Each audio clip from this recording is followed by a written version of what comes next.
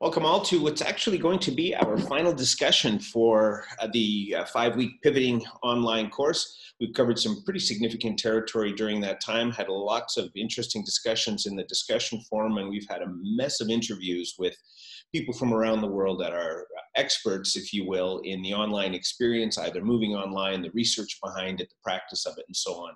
So I think we've covered some pretty significant territory during that time. What we want to do now, I guess, is we're getting into our fifth week where we're looking at a number of things which isn't just coming back to the classroom. If you remember many years ago, back in March, when we started talking about how we wanted to have the fifth week focus on getting back into the campus come fall. And it's looking like getting back onto campus isn't going to be the primary motivator because I think a number of schools already have called the semester and a few more no doubt will call it going forward, which means that it's likely about more longer term focused planning in the online environment and so on. So why don't we just start with a quick overview of uh, how you all are doing, what's going on, and anything interesting that you've noticed. Why don't we begin with you, Tanya?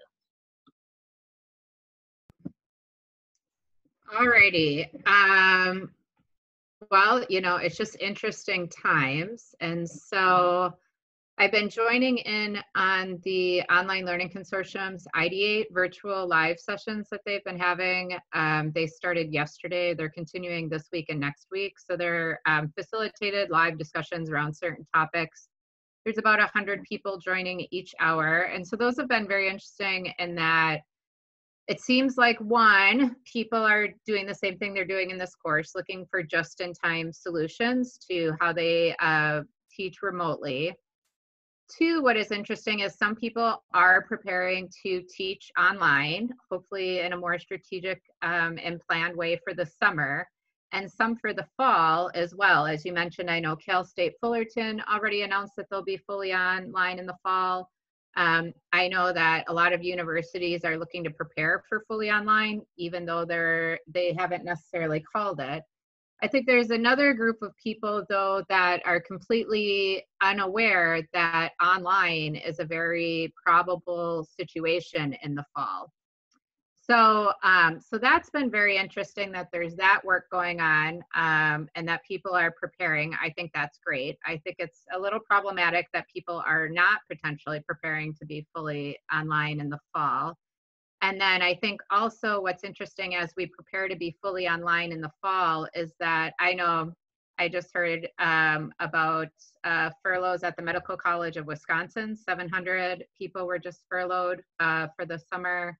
I know at the University of Wisconsin-Milwaukee, they just announced yesterday that even those working remotely that are not mission critical will be furloughed. I've heard the same for University of Wisconsin-Whitewater. So we are hearing about hundreds, uh, probably thousands of folks in higher education that will be furloughed. Disappointingly, is that we're hearing about people being furloughed that are actually critical and could support um, quality online learning. So it's interesting that, um, you know, in some ways, some folks are, um, you know, uh, George Veletsianos just said a university in Canada was hiring 17 instructional designers um, where you're hearing about um, you know VPs of online being uh, furloughed. So um, some people have got it right, and some people do not have it right. So um, you know this is always interesting to see how it's it's going to play out. That's sort of the stage of things. I'm very much like every university should be building a solid infrastructure to have quality online forever and making digital part of their strategic plan. But that's just me. Well, Tanya, I wonder if I can just uh, flesh that out a little bit because I, I, agree with you. That's what they should be doing. The reality is, I, I, and you've seen this, and Wisconsin is also susceptible, but University of Michigan this week said that they're uh, down something in the range of 400 million to 1 billion dollars yeah. this year and so strategy is perhaps different when you're facing that kind yeah. of it's it's the idea or the concept of carnage like you know what do you do in this kind of a setting so i'm a little concerned about what that's going to end up looking like and whether universities can think strategically when they're really facing an existential crisis because and i think some systems are and what's yeah. concerning to me is that the full scope of the impact is still unknown. States are withdrawing pre existing funds that they've committed. Uh, universities that have exposure to 30, 40% of the international population are facing challenges. And this isn't just in the US. Yesterday, during our chat uh, with Dave, I mentioned that University of Winnipeg or University of Manitoba was asked by the government to plan 10, 20, and 30% reductions. Once you're down to, given how far we've cut since the 2008 financial crisis, we've become much more leaner.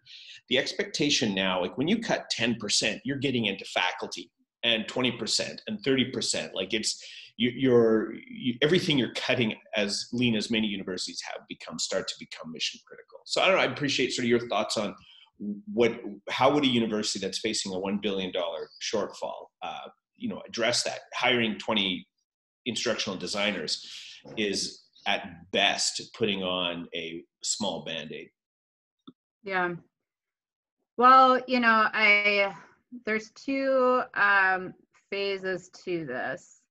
Um, personally, I think it's a good time um, and it's not going to be pleasant and this is not the favorable you know i see what the wisconsin system is doing and trying to furlough as many as they can um, by not having to furlough faculty and still possibly in the fall conduct business as usual but fully online personally, I think this is a time, um, in particular, when you mentioned George, which a lot of people don't understand. Um, every state is um, is in the hole. States are requesting money from the federal government. We're talking billions of, of dollars in order to make up for losses. So it's not just that the universities are are in the hole. The states themselves are in the hole. Um, and we're seeing, like George had mentioned, um, reduction in commitment to the university systems. And so that I actually was just talking with Becky from the Chronicle last week because I don't think people realize that you know the state can't make up the money. There's no money there to make up for for the losses. And so what probably should have been happening a long time ago is what we've tend to do is we tend to scrape off 10%, you know. And I've been going through cuts for 15 years, but you know it's like everyone cut 15%, you know, or 10% and um and so forth. But we haven't really been cutting out um, the fat. We've just been, everyone has to trim. Even if you're a successful unit, you have to trim. And we've been trying to not cut um, academic units, we've just been trying to trim them. And I think it's time that we really start looking at higher ed and thinking about where we can more strategically cut where are the loss you know not just thin everything out we're going to have to seriously cut we're going to have to um, cut programs. There's certain academic programs that probably should have been merged years ago um, departments and um, and schools and colleges that were not. Um, there's universities that potentially will need to be closing um, in uh, state systems. And, and we've already seen a reduction of that to some point. You know, the UW colleges, the two year system um, was merged with four year campuses with actually little discussion with, you know, if anybody really wanted that um, in some sort of strategic way. So um, I'm really tired of everyone has to cut or the non-academic units who support instruction have to be cut. Like my old unit was cut several times. But instead, we need to really think about what does the future of higher ed look like? Where can we and where do we need to right now allocate resources and where do we need to seriously cut? Um, and it's not going to be fun. I get it. Um, and I know we're all really reluctant to cut faculty lines or academic programs, but it's just the, the state of where we are. And, and like George, you were mentioning, I mean, we were 37 million short walking into this before the pandemic okay.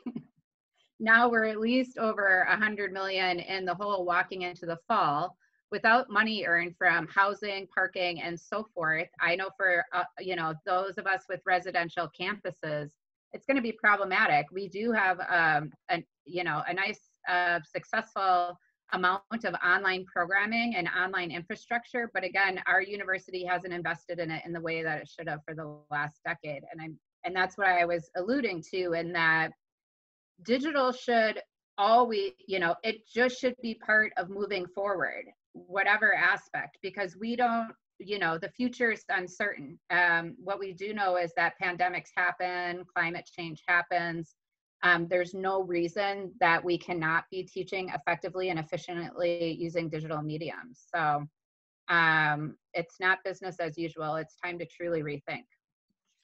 Yeah, Anyways, I, I, mean, I want to dig deeper on this, and I, I don't want to just pick on you. So I'm going to just throw this out randomly to anybody who's interested. But what I find is we're approaching this like it's a logical situation meaning oh, that yeah. you know now is the time to reevaluate and become the kind of university that we want to do i think we're more like a company that is entering receivership or bankruptcy or whatever you want to call it and the decisions to be made are not going to be made on what's best systemically, what's best logically. The decisions that are going to be made, and, and I said this in the chat with Dave yesterday, is the only line that matters right now are state budget lines in the US. That is the only thing that matters because there will be no logic around do we invest in learning designers?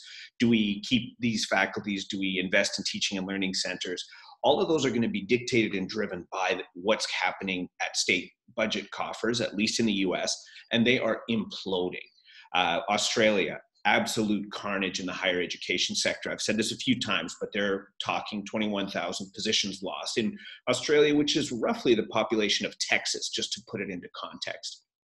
So uh, I'm, I'm worried that this is not a logic situa- logical situation. We think it's logical, and we're not paying enough attention to the one line that matters above all else, which is what's happening economically. And because, like I said, states that have already allocated dollars are clawing back from the university sector.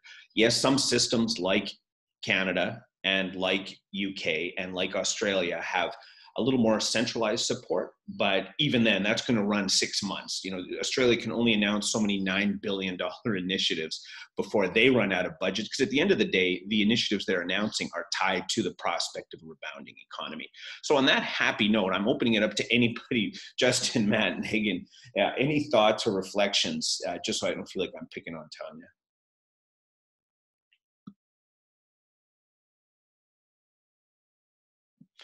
Or talk about something else?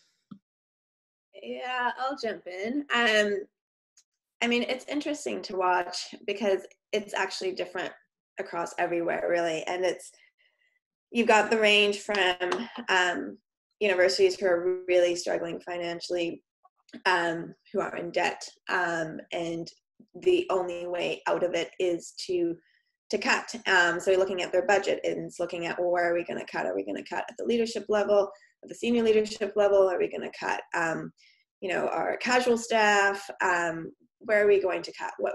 And each university is going to take their own take on it, depending on where their priorities lie. So some universities might be more research focused, so they might protect their research staff. Some might be more teaching focused and might protect their teaching staff.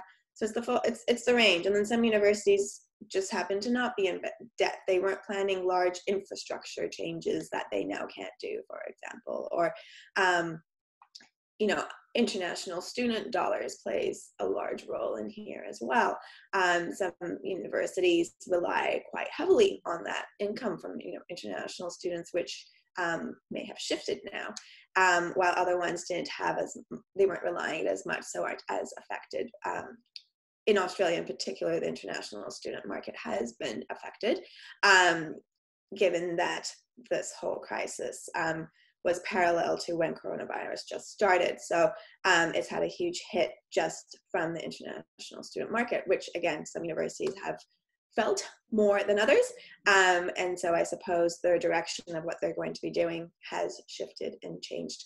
Um, I find it frustrating um, when I hear about cuts happening, particularly in support areas for online learning and teaching when we're in this massive time of shifting to online learning and teaching. If we were shifting face to face, then I can understand maybe maybe cutting some in that area.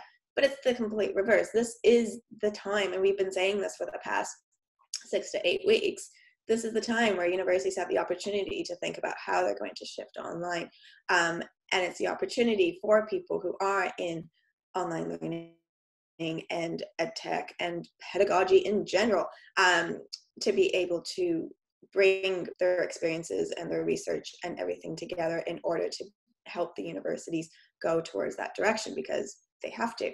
Um, so it is frustrating when you hear that. It's frustrating when you see um, companies try to get in on the market. Um, and that's probably happening everywhere, um, where you see companies trying to dive into this field of opportunity and say, oh, you need to shift online.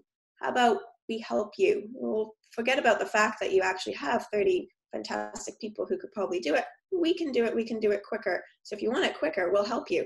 Um, because obviously you may not want your other staff who are doing everything else um, for your university and are under time pressure and everything else for the rest of the campus um, to, to do more work. So um, I think a lot of private companies are taking this opportune time to get into the universities, um, which is also frustrating to see um, as somebody who works within the university rather than external to it.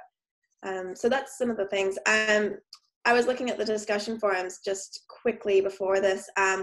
And I think a number of people have shared their EdTech journeys, um, which was nice to read.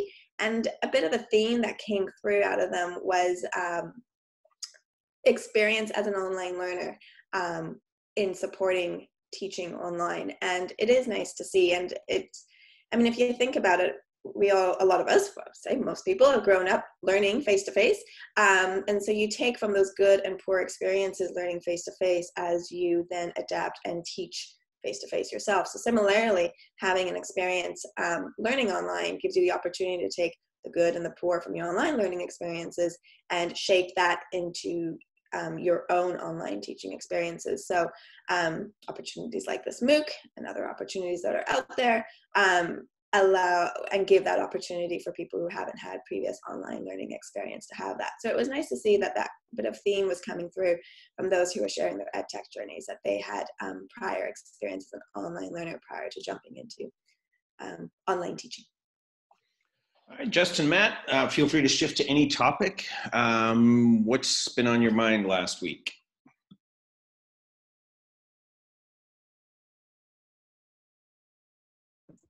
I don't want to leave this Oh. topic.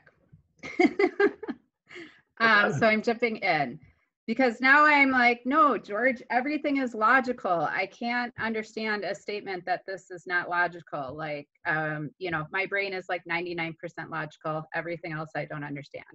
Although I am trying to get in touch with my feelings lately, but that's not working out for me. So, anyways, moving forward. So, if we talk about logic and we have all of these cuts, um, you know, and we talk about backwards design, I think of and everything else, or even um, backwards engineering, but like what stays then? You know what I'm saying? So um, I think there is logic to it, and I think that we can identify areas of the university. But um, Megan got me thinking when she talked about research, because I know the medical college, the majority of those um, 700 um, folks that were furloughed were researchers in lab settings. Um, so that's really interesting. So just, you know, I think that there are there are departments and units on campuses that are already doing a great job at successfully offering quality online programs. And I think that those will continue. Um, I think that there is going to be a research question mark. Although research brings hundreds of thousands of dollars to my university, we're a research one university, but we're also broad access um, I can see um, research, depending on the type of research, you know, possibly being a new limitation. If we're talking about the labs are closed, all the labs at our university are closed, um, Medical College of Wisconsin and so forth. So where, how do we generate those research dollars? And then I started to think as um, folks were talking in the chat here, um, uh, somebody had brought up, um, you know, private colleges and so forth. You know, we're already hearing reports of lower enrollments. Um, you know, they're doing market research, people are taking gap years, all of that sort of stuff. I'm hearing from faculty at all different colleges that are saying that they, um, their courses aren't full because, you know, registration's already open.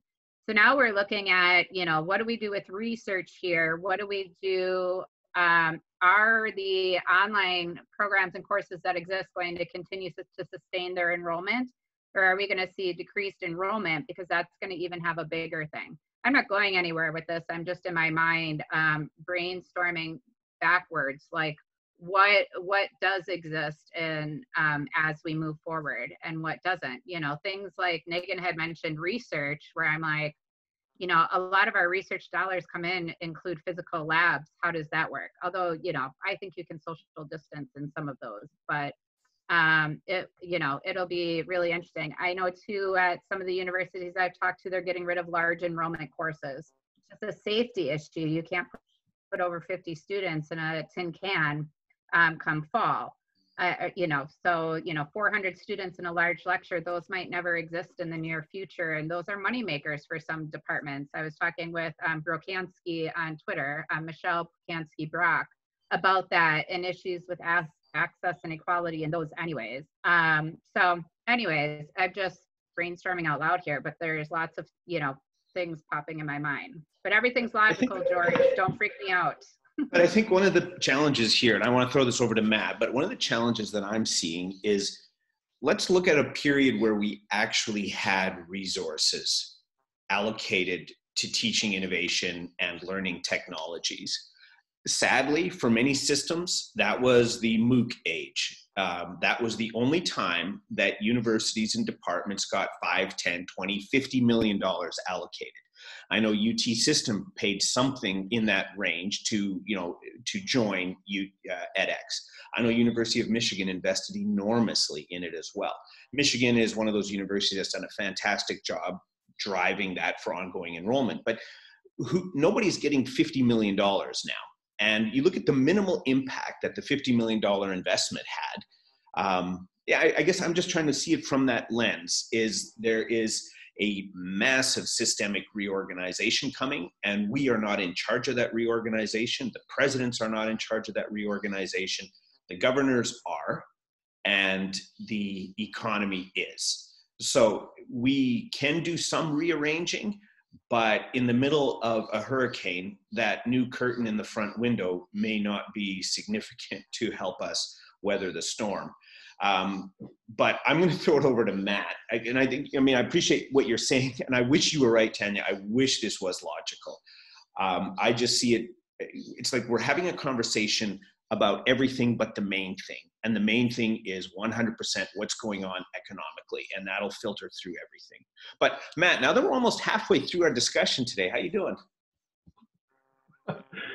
Um, wow. Um, uh, you're in the headlights here. Let's see. Um, no, you know, something else I want to throw in there are the main thing is going to be the students. And if they're going to start suing their universities for their online stuff, they're going to start saying, I'm not going to go to online stuff. Uh, that's going to get a lot of people's attention. And then uh, what's going to happen is all these other students are going to say, Hey, I've been doing online. It's been great. What are you complaining about? I think there's going to be a forced conversation about the quality of online learning at some point. Maybe not be the big thing that everyone looks at, but it's going to be forced at some point. And you're going to find out that a lot of our administrators don't understand that online learning is an entire field of, of you know, an entire discipline, you know, uh, or, you know, a collection of disciplines that has to be, you know, well prepared, well thought out, you know, and put some time into it. But um, I, I, think we're, you know, because your students are, were, you know, they, without your students, you can get all the funding you want to, uh, but then no one shows up for your class, you know. So I think that's going to, that's going to be a huge driver. And I've been seeing that a lot out there. There's already some lawsuits that are being leveled. There's uh, a, a lot of protests, you know, students saying they're going to take gap years if someone that, or, you know, not come back for years, they noticed in the comments. I think that's going to be, I think that's going to get some attention. I think that's going to drive some of the conversation.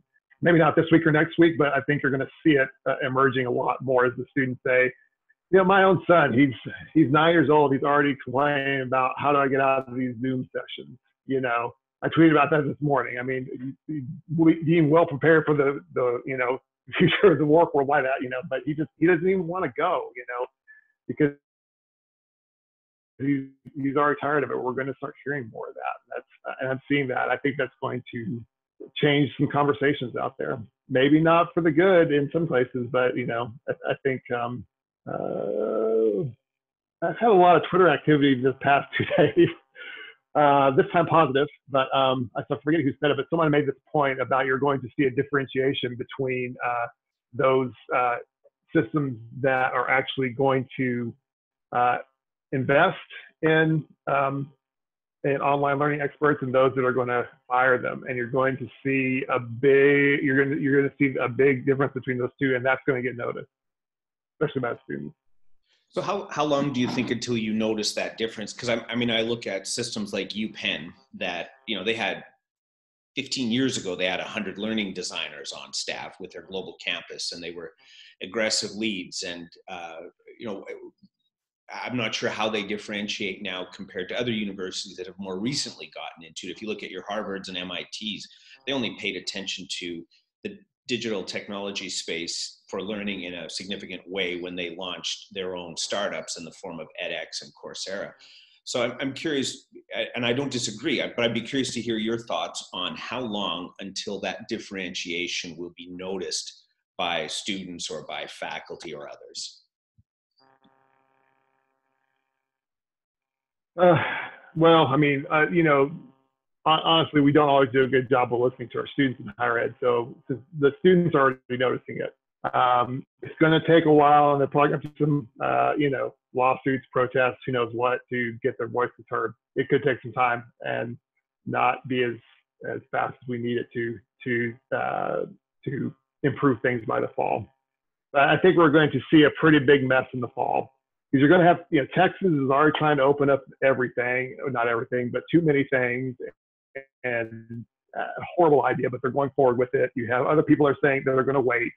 Uh, you have people that are going to put a lot of faith in social distancing. So you have this whole society that's going to be this mess of coming back and staying. And then our, our campuses are going to be the same thing as well. So it, it's just, I think it's just going to be a mess in the fall, probably with very, be hard to pick out good trends because it's just going to be a mess because, you know, because we just, I mean, we have very bad leadership at very many levels all the way up to the top here in the States, at least. So, uh, I mean, uh, you know, a, a, lot of this, if, if, if we had a more um, stable uh, political uh, genius on top of us, uh, we could maybe talk about this a lot easier. But even then, it's hard to predict what someone's tweet is going to do for as far as uh, societal chaos in the future as well. So.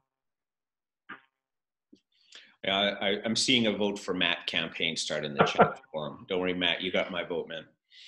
Um, Justin, Justin, what about you? How's uh, what's on your mind these days, and what are you noticing? Um, a lot of stressed out faculty. Um, things are starting to blow up a bit. Um, they're trying to figure things out, and especially uh, summer terms coming up pretty soon.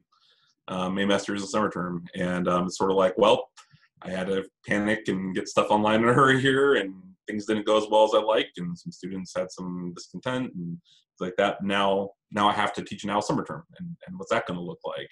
And do I have time to adequately plan for it? And, you know, what are some things we can try and trying to help support that? And then even talking to some other um, people today, um, like I feel like everything takes two times as long right now too. It's just the number of hours in the day. Like it's taking me longer to grade. It's taking me longer to communicate with students. It's take, so um, feelings of exhaustion on top of everything else that you know they're they're dealing with you know right now um, is, is is a big challenge. And then and then the other one I just a conversation too is um, research too. They're like, how on earth am I? I need to get grants out. I mean, I'm going to be evaluated. I'm on the tenure track, and I'm supposed to be applying for these grants. I'm supposed to be getting these publications out. And like, what's that going to look like on my dossier when I'm trying to submit this in a year?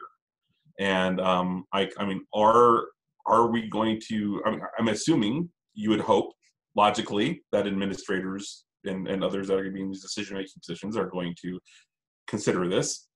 But it's a good question mark, and and I understand why people are fearful of it. And um, and and I know that heck, I'm in that position too. Holy cow. It's like my research projects are ground to a halt. I'm trying, trying to get papers out and things, but wow, it is, it is hard. It is, it is a big, difficult thing. So, um, you know, I think that that's something we have to continue to be cognizant of right now. Um, you know, again, this is someone that's helping support faculty. It's, you know, trying to encourage them, like, just keep, you know, keep moving on, keep trying it and, and being willing to iterate and being willing to abandon, you know, if you need to abandon something, drop it if you can. If it's possible, and it's not working, we have a couple weeks left. You're almost there. You know, do what you can. And then for summer, you know, if you can try something or even a couple things, you know, do that. You may not need to completely redesign your course backward, you know, learning design and have all these good principles in place and all that. It, you know, if there's some things that you can take away from trainings that you've done or courses like this, yeah, absolutely. Take, you know, take take that, try to use, try to experiment and implement. Because I know that's one thing we talked about early on in one of these sessions is every one of us has had a journey. Every one of us has made some mistakes in our teaching, and um, um, we've we've all learned a lot from it. And um, you know, just encourage uh, you that are watching this recording or in the session now to just you know, keep, keep plugging along. I said there's some really good things and some really good concepts, hopefully, that you can take away from this.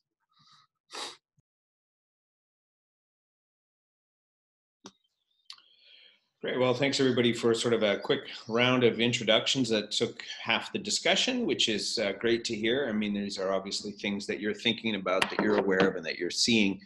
Um, I, we've said this right at the start. At best, this is a two hump problem, which is do the emergency now, plan later but it's also becoming quite clear that this is a multi whatever you want to call it. It's not a month problem or a week problem it's a months and years problem. And uh, you know the, the way it'll filter through is is significant. If you look at it since the 2008 financial crisis it was just this year that many states were beginning to report a return to the levels of funding from state levels that they had pre 2008 which means we're just kind of bouncing back. And by all indicators, depending on the length of time that this goes on, we should see uh, you know a longer recovery cycle than that. So I think that presents sort of its own set of concerns. But with those happy thoughts out of the way, why don't we talk a little bit about what are you seeing that's working well? Uh, all of you are involved in different ways of dealing with faculty, dealing with students, but what's some good news that you guys are seeing?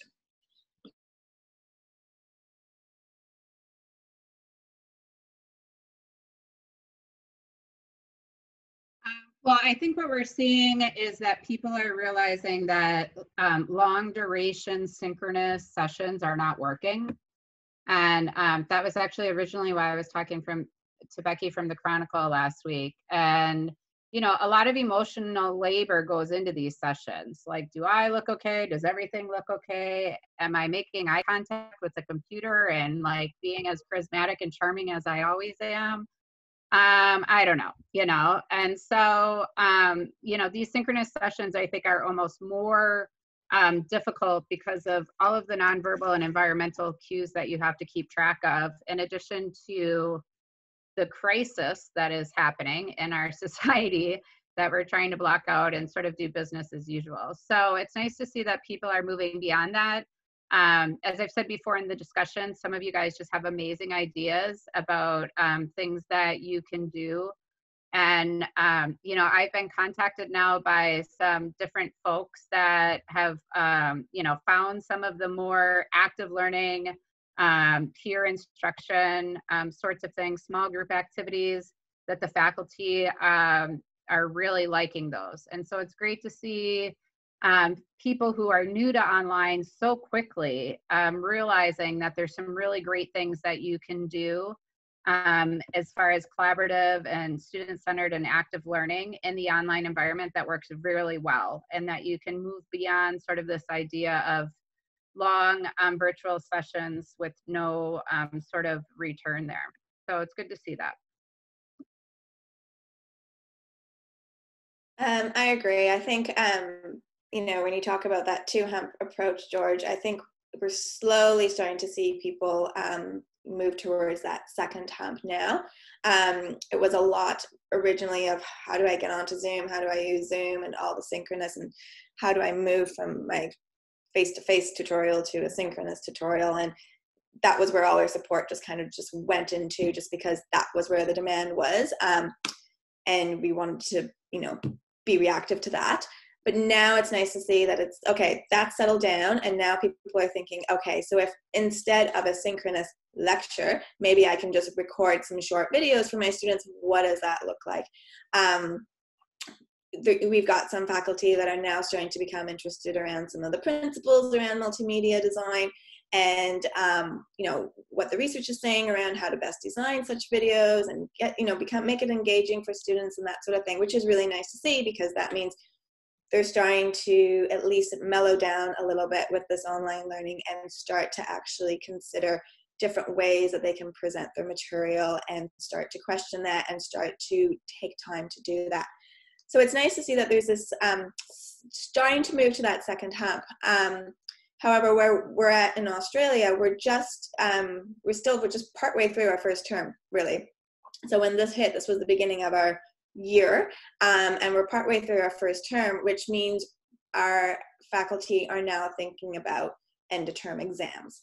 Um, so we're at that point right now where it's like, right, so our exams are online and frantic panic of how are we going to deal with that. Um, do we just move it on to an online quiz? Well, how? And we, you know, those of us who have done online quizzes, we know there's all sorts of elements around it. There's academic integrity questions to start thinking about. There's um, how to best design the quiz so you can reuse it again to think about settings, that sort of thing. Um, or do you just give students a, a, paper that they download and upload? You know, there's so many different ways of doing it. Um, but this is now kind of that next thing. So we, I, I feel like we're in between the two humps. We need to get over that first term of moving to online exams. Um, I think once that happens, faculty will become more confident in that approach, more comfortable in that approach, um, just like we're starting to see them become more comfortable and confident in the online teaching space and start to think about different ways of doing that. Um, once we get through this first batch of online exams, I think we'll be able to to move on from that. But um, I think we're starting, starting to just slowly climb that hump of that second, um, second hump coming up. On end, I think one thing that's been encouraging is I've started to see people actually provide uh, assistance for graduate teaching assistants. I think that's been a segment of our uh, on-campus population that have not been provided the same sorts of service. I've noticed it at a number of institutions. So I've been seeing additional things on Twitter as well as you said, even my institution like, hey, wait a second.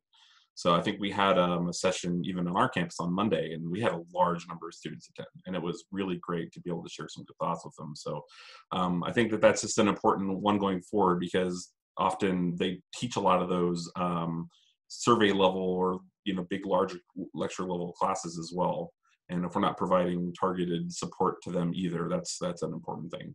Because a lot of times they may not even get that to begin with and then they're forcing them to move into an online environment very quickly. A lot of things can go bad in a hurry so um, that's just something i've been encouraged about lately.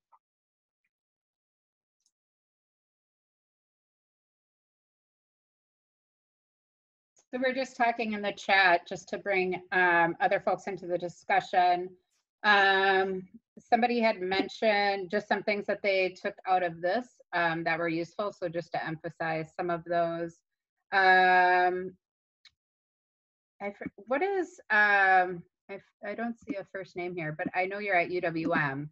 Um, anyways, he had mentioned the interviews, um, enjoying the interviews, and I um, was just actually in a meeting this week and was recommending um, the use of interviews rather than just giving lectures and those sorts of things. I think interviews and having a discussion allows you to get deeper into topics. Um, they're more interesting and engaging to listen to, and I always, I'm a researcher, so I think everything's a data source but I love interviews because then you can transcribe them and use them in different um, research that you're doing. So that's really um, exciting to hear. And, and Megan had agreed with that. So if there's a way for you to develop content for the summer term or fall by interviewing some colleagues or experts in the field, that's a really great way to go. I think also uh, we were talking about Amy was mentioning that you know she had identified some things that worked really well online and that she wants to keep those moving forward. And I think that gets back to a little bit about the blended learning we were talking about for this week.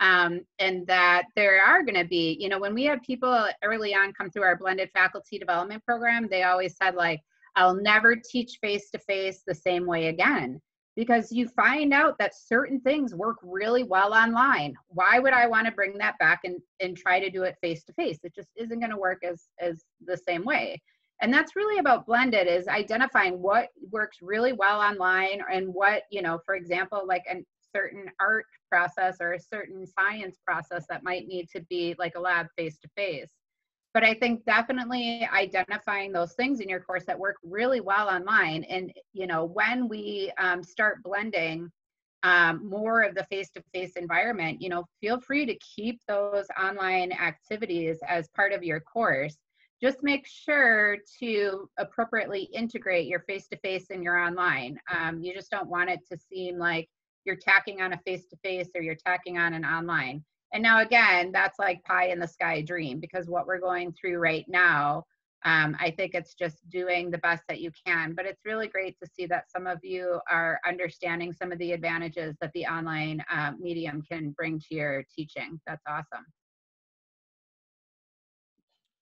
Maybe one of the the questions to explore a bit with with uh, you know with all of you here is the there's been some conversation that as we move online uh, or back to classrooms eventually, we're going to see a bit of a backlash to online learning because we all suffer kind of a collective uh, trauma from this forced onlining and the combining uh, experience that that has with obviously the quarantine and everything else that's going on where we've experienced some really dramatic disruptions to our personal uh, health to our emotional health and the list goes on so what do you think let's say we are now 18 months down the road we're starting fall 2021 and what do you think will have been the legacy of the cycle that we're in right now? Like, how do you? I agree with what you said, Tanya, that people go back into classrooms, and once they've taught online, they realize there are certain things that just work better online than work in a classroom. By the same account, there's things that work much better in a classroom than work online. It's like we said right at the start. It's not that one medium is necessarily better than the other, but they're different. And success is different in each environment, meaning that some type of communication will work well in a classroom that won't work well online and vice versa. So, just a quick run around the horn. What do you think will be the longer term legacy of the forced onlining uh, once we actually do get back into a blended or fully in person classroom?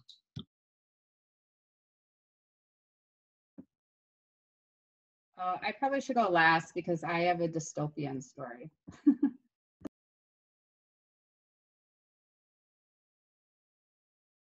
I think one thing we will see a little bit of is that uh, people will move around uh, to get different jobs.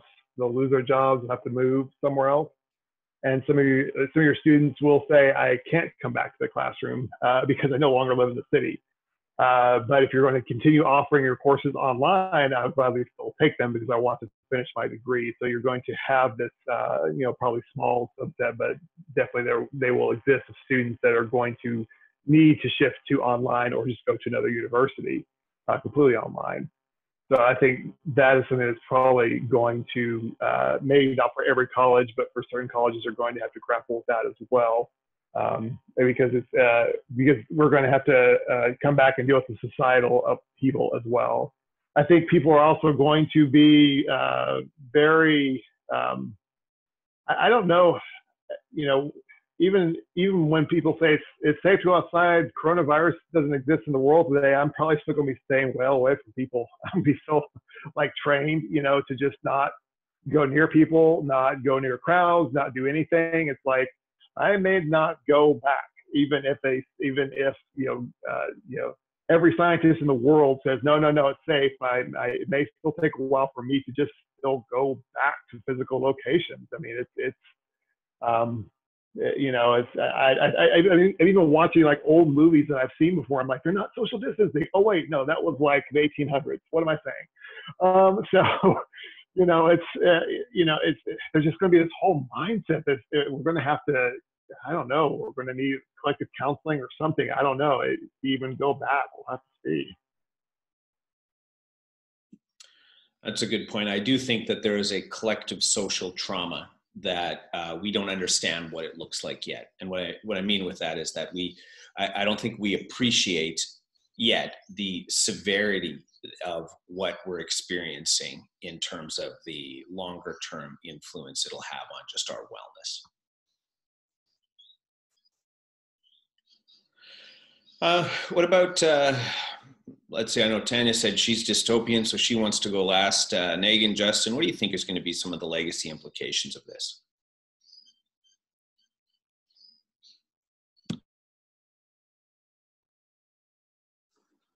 Well, I think um, it's that whole. I mean, I think it's double. So for the for the academics, the teachers, the instructors, it's there's some of that going on in the chat at the moment. Um, well, what does it really look like as a teacher now? Um, do I just forget everything about this pivot to online and go back to what I was doing? Um, have my students changed? Um, has their attention span dropped or whatever? Or you know, um, do they have different expectations now? It um, it might probably will make some of our instructors realize, well, maybe there's certain things that I have done in this pivot to online that I can repurpose and reuse when I'm back into the face-to-face classroom. It brings up that whole topic of, you know, blended learning and um, or flipped learning or however way they want to describe the mix of some face-to-face and online. Um, hopefully with some support as to what that actually looks like um, and what that means. However, um, then on the flip side of the students, I think it's going to change their experience as well. Um, I haven't met a lot of pe- a lot of students who have studied online and um, have you know haven't really enjoyed it. And I don't mean this particular pivot to online, but you know, in structured online learning. So I would imagine that you know once we start moving into not this urgency of emergency online learning, but more structured online learning that might be more thoughtful um, with you know organized strategic approaches to teaching online, students might start to appreciate some of that, appreciate the flexibility that that offers. If they're starting to go back into the workforce, and whether that is full time or part time, having the opportunity to be able to continue their study online um, might be quite a draw for a lot of the students. They might want that, appreciate that, be able to keep doing that because, you know, whether we like it or not, online learning does bring a a massive amount of flexibility to learning allows people to study at night or on the weekends or mix with whatever other um, uh, responsibilities that they have. So i think um, universities are going to grapple with that that's happening that demand that students are starting to see oh well you know we did that online. Well why can't we keep doing that online? Um, obviously not for pracs or labs or studio based as much um, but certainly when it comes to tutorials and lectures that we can now are seeing well they, they can be online why make everyone show up at 9 a.m or 5 p.m on a friday you know you've got other ways of doing it even um, exams that i was talking about before once we are able to do them online in a way that handles all the academic integrity issues, et cetera, et cetera, then maybe people are going to start looking at, well, why do we do this the way we have done it if it's working this other way? So I think um, it's going to be twofold, but I think at the end, if you look at the universities, it's the students that are will provide whatever demand it is, whether that's a demand more face-to-face, a demand for more online, a demand of the blended, and our academics are going to have to start um, dealing with whichever demand comes their way. Take us into the abyss, Tanya. Oh, I was going to go, George. Okay. Oh, sorry, Justin. Go ahead, Justin. Oh, that's fine. I know we're running up short on time. I will keep it brief. So I just had a thought, um, you know, sort of thinking about this when this was going, that um, this idea of this return to normal. And I've heard a lot of people saying they it's a longing, it's a desire. It's what we're used to. We have our habits, and um, higher ed in, higher ed in particular is very um, tradition heavy. There are a lot of things that um, are, are, challenging. So obviously, you know, a draw to campus a lot of times it can be a football program. It can be other things like that too that we're not going to necessarily have. Um, so I'm also, you know, that's there's some things that are going to be, you know, change uh, enrollment patterns and things like that. That you know, if if we have to be online for any substantial length of time. Um, but another thing is um, uh, institutionally the way that we do things. Um, for instance, you know, there's been a big push. I mean, for a while there, I think we all heard like, "Oh, I'm a I'm a dropout course," and you get, you get a lot of people that are proud to have high attrition, things like that. And there's obviously been a, a cultural shift away from that. I think that people are realizing that's not such a good thing for a lot of reasons, whether it's administrative pressure or realizing it on their own or other things too. uh, hopefully just growth. But um, I think that that um, that this this might be a contentious point going forward. I know Matt's done a lot of um, stuff in this space too, of um, this this sort of idea of surveillance and the way that we're looking at metrics and things like that. Um, so we have a lot of people that are really worried about cheating is the one thing. How do we have security, and that's still going to continue to be an issue. And then also things like if you're switching online and you have continued poor satisfaction and you have high attrition in certain courses, is that going to impact your associate profs, your full profs that have been teaching this way for a long time? I'm I'm curious if data and things like that start to become a little more weaponized, possibly, or used in a way that could um, be punitive, I guess, too, um, more than what it already has been. So, um, just just some things that are shaking, you know, the way that the fundamental university structure works. And again, on that, on top of, as I said, the tenure and promotion and other things, uh, I think there are going to be some other systemic issues we have to deal with that aren't just economic and others.